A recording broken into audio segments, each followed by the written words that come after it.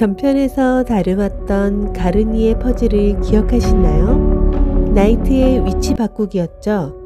나이트를 반대편으로 이동하는 경로는 이러했습니다. 네 번을 이동하면 되었죠. 자, 여기서 나이트를 더 이동을 해보겠습니다. 그러면 이렇게 순환하는 구조가 되죠.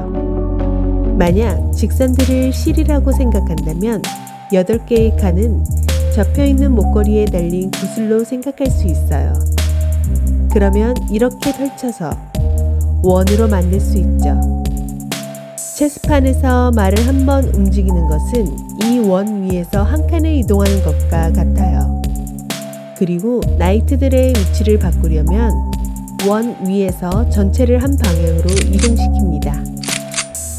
그래서 16번 만에 가능할 수 있었던 거죠.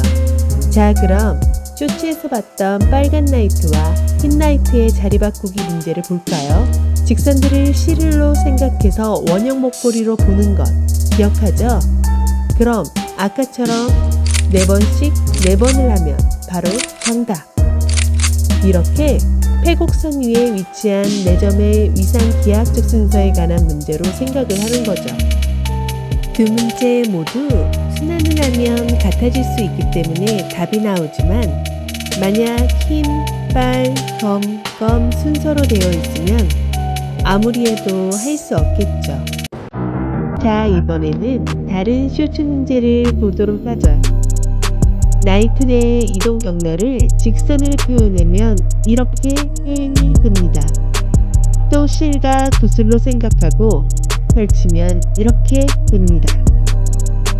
몇 번 만에 할수 있을까요? 이렇게 실과 구슬처럼 생각을 하면 복잡한 생각들도 비교적 간단히 할 수 있답니다. 감사합니다.